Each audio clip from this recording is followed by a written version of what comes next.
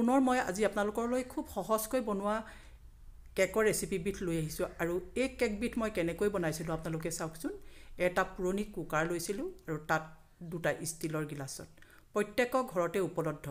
মই বহুবোৰ কমেণ্ট পঢ়ি যেতিয়া গম পাইছোঁ প্ৰত্যেকৰ ঘৰত অ'ভেন নাথাকে আৰু সেয়েহে মই ভাবিলোঁ যে অ'ভেন নথকাসকলেও খাব পাৰিব এনেধৰণৰ কেক নিজে বনাই একেবাৰে সহজভাৱে আৰু ঘৰতে। কিমান চিম্পুলভাৱে বনাইছোঁ আপোনালোকে যেতিয়া ভিডিঅ'টো চাই যাব গোটেইখিনি কথা ধৰিব পাৰিব। এতিয়া আপোনালোকে মন কৰক কেক কিপিচ কিমান ধুনীয়া হৈছে। অ'ভেন নাথাকিলেও যে খুব সুন্দৰকৈ কেক বনাব পাৰি এই কথাটো হয়তো বহুত লোকে নাজানে নহয়নে? সেইটো কাৰণে কেক বজাৰৰ পৰা কিনি খায়। এইকেইদিন লকডাউন চলি আছে বজাৰত কেকো বিচাৰি পোৱা নাই। কিন্তু ল'ৰা ছোৱালীক যিসকলৰ ঘৰত এতিয়া সন্তান সৰু সৰু হৈ আছে তেওঁলোকে নিশ্চয় কেক খাবলৈ বিচাৰিছে। আপোনালোকে এনেদৰে বনাই দিয়কচোন। একেবাৰে সহজ আৰু কম বস্তুত আপোনালোকে বনাব পাৰিব।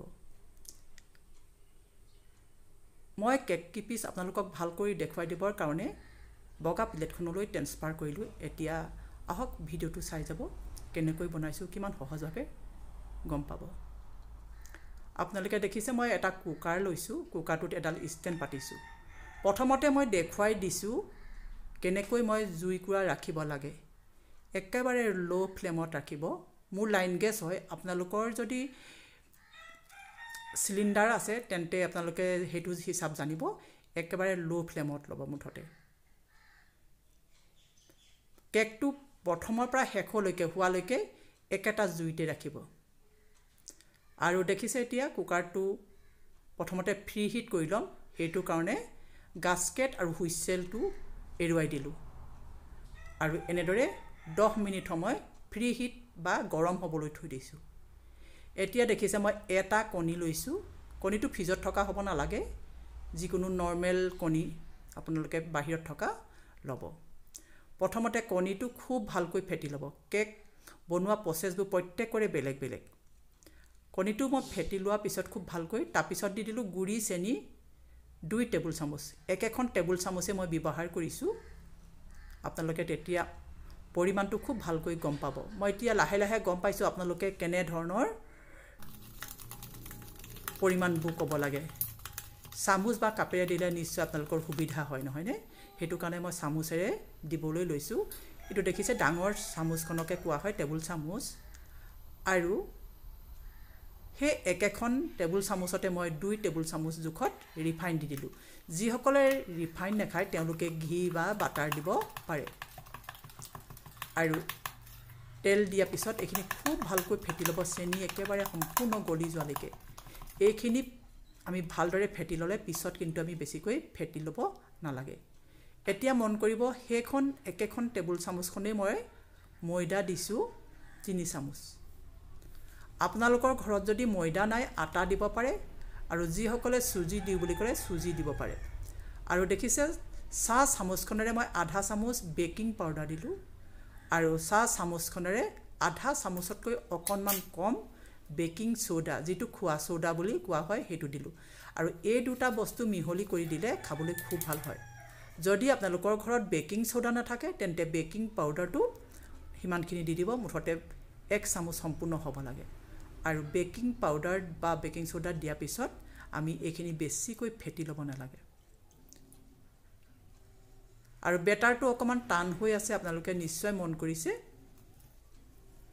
তাত দি দিব গাখীৰ। প্ৰথমতে মই দুই টেবুল চামুচ জোখত গাখীৰ দিলোঁ আপোনালোকে নিশ্চয় মন কৰিল নহয়নে? আৰু এইটো জোখত হৈ গ'ল বেটাৰটো। আৰু অকণমান পনীয়া কৰিম বুলি ভাবিছোঁ তেতিয়া কেকটো বহুত ধুনীয়াকৈ ফুলে। আৰু যি ঘৰত লিকুইড গাখীৰ গৰু গাখীৰ আছে তেওঁলোকে গৰম কৰি ঠাণ্ডা কৰি পেলাই দিব।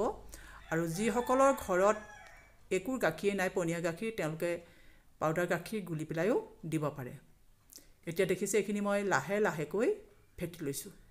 যিমান পাৰে লাহে লাহেকৈ ফেটি ল'ব। কিন্তু বেছি সময় নহয় এক মিনিটৰ ঠিক এক মিনিটমান সময় এনেকৈ ফেটি ল'লেই হ'ব। ফেটা হৈয়ে গ'ল। মই তিনিটা ইলাচি দি দিছোঁ। অলপ থেথেলিয়াই মানে ভালকৈ গুড়ি কৰিয়ে লৈ পেলাই বাকলিৰ সৈতে মই দি দিছোঁ কিন্তু। তেতিয়া গোন্ধটো খুব ধুনীয়া আহে কণী গোন্ধটো একেবাৰে নাথাকে। আপোনালোকৰ ঘৰত যদি ভেনিলা এচেঞ্চ আছে ভেনিলা এচেঞ্চো দিব পাৰে।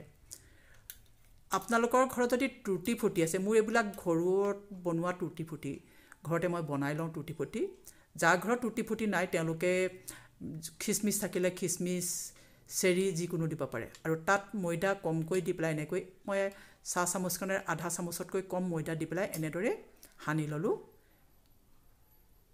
সানি লোৱাৰ পিছত এইখিনি তাত দি দিছোঁ। আৰু টুটি ফুটি দিয়াৰ পিছত আপোনালোকে তিনি চাৰি ছেকেণ্ডহে মাত্ৰ সানিব অকণমান মিলাইহে দিব লাগে তাৰপিছত আপোনালোকে আৰু ফেটি নল'ব। এয়া দেখিছে হৈ গ'ল বেটাৰটো। এতিয়া মই আপোনালোকক দেখুৱাই দিছোঁ দুটা সদায় পানী খোৱা ষ্টীলৰ গিলাচ এটা ডিছপ'জেল গিলাচতো আপোনালোকে বনাব পাৰে এনেধৰণৰ কাপতো আপোনালোকে বনাব পাৰে। কিন্তু প্ৰত্যেকৰ ঘৰত সহজতে উপলব্ধ মই ষ্টীলৰ গিলাচতে প্ৰথমতে দেখুৱাই দিছোঁ। ষ্টীলৰ গিলাচটো আপোনালোকে প্ৰথমতে অকণমান ভালকৈ ৰিফাইন সানি ল'ব। ঘি সানিলেও হ'ব। এতিয়া মই ৰিফাইন সানি ল'লোঁ দুইটা গিলাচত। আৰু গিলাচটো তলখন নজ্বলিবলৈ বা কেকটো খুব সোনকালে সহজে এৰি আহিবলৈ এক চাহ চামুচ মই দি দিলোঁ ময়দা। আৰু কেনেকৈ মই কৰিছোঁ আপোনালোকে নিজে মন কৰি যাওক ময়দাখিনি গোটেই গিলাচটোত চাৰিওফালে আপোনালোকে সানি ল'ব। তেতিয়া গিলাচটোৰ পৰা ইমান সহজতে এৰি আহে আৰু গিলাচটো অকণো বেয়া নহয়। এতিয়া দেখিছে? এইটোৱে একে পদ্ধতিৰে মই এনেদৰে কৰি ল'লোঁ। আপোনালোকক মই দুইটা গিলাচে খুব সুন্দৰকৈ কৰি লোৱা দেখুৱাই দিছোঁ। চবফালে ময়দাবিলাক লগাব লাগে। আৰু বাহিৰৰ ফালে জ্বলি নাহিবৰ কাৰণে যিখিনি লেতেৰা লাগি থাকে সেইখিনি আপোনালোকে মোহাৰি ল'ব। সেইখিনি মই কোৱাটো প্ৰয়োজনে নাই। এটা গিলাচত মই প্ৰথমতে ভৰ্তি কৰি ল'লোঁ আৰু দ্বিতীয় গিলাচটোতো আপোনালোকক দেখুৱাই দিছোঁ। এইটো আপোনালোকে প্ৰত্যেকে জানিব। আৰু যিবিলাক লাগি থাকে সেইখিনি মোহাৰি পেলাব। আৰু কেকৰ বাতিত দিওঁতে আমি যেনেকৈ মোহাৰি লওঁ ঠিক একেটা পদ্ধতিয়ে। এতিয়া দেখিছে দুইটা গিলাচ মোৰ সাজু হৈ গ'ল। আৰু অলপ ময়দা সানি টুটি ফুটি ওপৰত অলপ দি দিছোঁ ময়দা সানি দিলে কি হয় ওপৰতে লাগি থাকিব তললৈ সোমাই নাযায়। সেইটো কাৰণে আপোনালোকে খিচমিচ দিলে ময়দা অলপ সানি ল'ব বা চেৰি দিলেও ময়দা অকণ সানি ল'ব। এতিয়া মই এনেদৰে সানি লৈছোঁ। তাৰপিছত আপোনালোকে গম পাইছিলে মই দহ মিনিট ফ্ৰী হিট কৰি থৈছিলোঁ কম জুইত জুইকৈ মই পুনৰ দেখুৱাই দিছোঁ এইটো ভুল নকৰিব আপোনালোকে মই বাৰম্বাৰ কৰি থাকোঁ সেইকাৰণে। আৰু খুব লাহেকৈ যিহেতু কুকাৰটো আমি দহ মিনিট সময় গৰম হ'বলৈ পাতি থৈছিলোঁ ধোঁৱা ওলাই থকা নিচিনাই হৈছে। সেইটো কাৰণে যিমান পাৰে সাৱধানে হাতখন যাতে কুকাৰটোত লাগি নাযায় নহ'লে পুৰিব তেনেকৈ ছাইডত লাহেকৈ বঢ়াই দিব। আৰু ঢাকোনখন লগাই থৈ দিব। মই ত্ৰিছ মিনিটত এবাৰ খুলি চাইছিলোঁ কিন্তু ওপৰখন বেছি ৰঙচুৱা নোহোৱাৰ কাৰণে আৰু পাঁচ মিনিট বহাই দিলোঁ। মুঠতে মই এয়া দেখিছে পঁয়ত্ৰিছ মিনিট ৰাখিছোঁ মই। পঁয়ত্ৰিছ মিনিটৰ পিছত কি সুন্দৰ এটা কেক তৈয়াৰ হৈ গ'ল। আপোনালোকে নিশ্চয় দেখিছে কিমান ধুনীয়াকৈ সিজিল। আৰু মই সেইটো দেখুৱাই দিছোঁ। এনেও ওপৰখন দেখিলে আপোনালোকে নিশ্চয় গম পাইছে। মই তথাপিতো কটাৰীখনে যেতিয়া আগটো লগাই দিলোঁ খুব ধুনীয়াকৈ সিজি আহিল। আৰু গেছটো অফ কৰি দিলোঁ। এনেকৈ কুকাৰত ঠাণ্ডা হ'বলৈ দিব পাৰি কিন্তু জ্বলি যোৱাৰ সম্ভাৱনা থাকিব যিহেতু কুকাৰটো খুব গৰম হৈ আছে। সেইটো কাৰণে মই লাহেকৈ কাপোৰ এখনে ধৰি এনেকৈ উলিয়াই দিলোঁ। আপোনালোকে এতিয়া মন কৰক কিমান সুন্দৰ। আৰু যেতিয়া ঠাণ্ডা হ'ল এতিয়া মই ডিমল কৰিছোঁ। কটাৰীখনে এনেকৈ ল'ব আৰু উলিয়াই দিব। এই বগাখিনি আপোনালোকে নিশ্চয় গম পাইছে ময়দা দিছিলোঁ। আৰু চাওক কিমান সুন্দৰ এটা কেক তৈয়াৰ হৈ গ'ল। এইটো আপোনালোকে কাটি ল'লে কেইবাজনো খাব পাৰিব আৰু এনে লকডাউনৰ সময়ত কম বস্তুৰে বনাব পৰা এনে কিছুমান ৰেচিপি আমাক খুবেই প্ৰয়োজন হৈছে নহয়নে?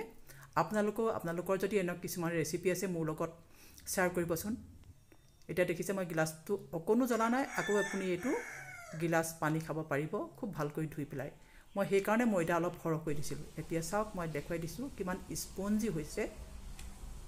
আৰু একেবাৰে চফ্ট কাটি দেখুৱাই দিছোঁ।